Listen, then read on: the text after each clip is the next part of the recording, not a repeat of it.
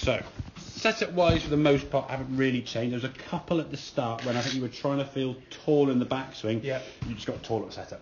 Okay, so don't change your setup. Try and implement this position on the way back. Okay, just stand at the same sort of position when we're trying to get with that spine angle over the ball Yep. there now. If we just stand up taller, it's not really Yeah, going to help not the really swing. gonna do it. You'll end up dropping down more because you can't swing from that tall position. You have to, you'll start creating more of a dip anyway. So look at the left hand. Well, these, these are sort of two practice swings. You can sort of see your head sort of going down towards that white line, and there's your club, very collapsy, over the top. Now, you look at this back swing on the practice swing. It's different, isn't it? Hell Yeah. Jesus. Massively, Hell yeah. And again, I've not said to you keep your arms straight or get the club higher. You just get that, just maintain your posture basically. Not don't swing shorter. Not don't, there's one kind of thought like getting that left shoulder kind of almost higher and you feel tall in the backswing. Yeah. Creates a better position using the golf club. Again, you're a lot more free with your arms as you come back to golf ball.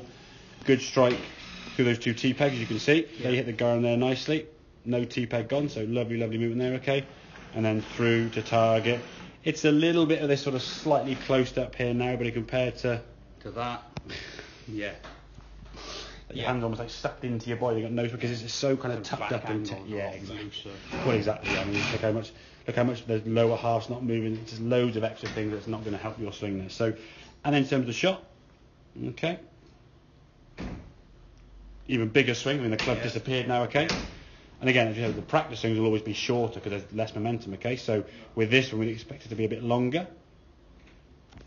But it's not.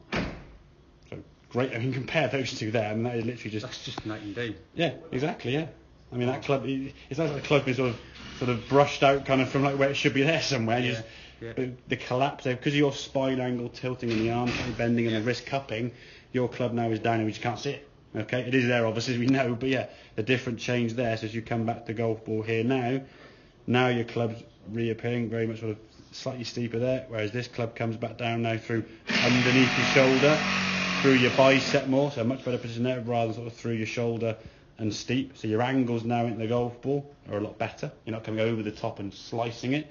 Your club now coming in from a slightly more this angle rather than the steeper angle. Okay. As you come in the golf ball here now, club you can see now slightly out of the shaft, almost dissecting the ball there, so a bit outside slightly, Yeah. and then swinging through a bit low and a bit cramped there with the shoulders. Okay. Through to this one, to the shaft now, a lot more kind of away from the ball. Great strike of the golf ball. And look at that kind of follow through. I mean, that's that's the fullest I've ever seen you follow through the golf ball ever.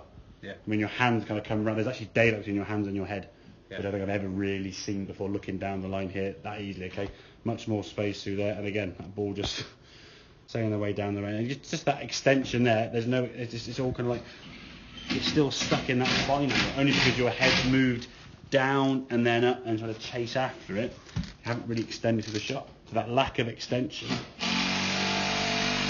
that looks a lot more free for me compared to. Yeah. It looks like there's more effort to the way like, like try and lump it through because your arms go try and get past your body because it almost right looks seems so and I think the reason why the word is that it felt easier because your arms got space to move.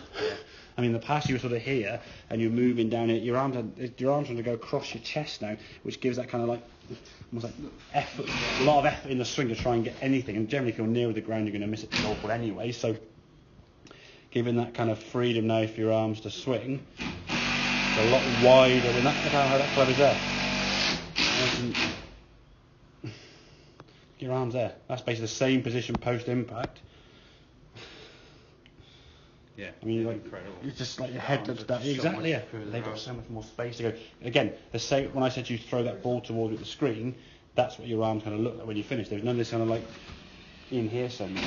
But keeping that same good posture, not changing your posture, just being aware we're not trying to get taller at setup. Yeah. Maintain that posture. Get that left shoulder almost feeling a bit higher as you go back, so it gets that club into a better position. Yeah. Okay when you're swinging back, we're looking for kind of something that resembles that there. If we can keep getting to that position, gosh, you've got to have a, a great chance to hit three wood and drivers, believe it or not.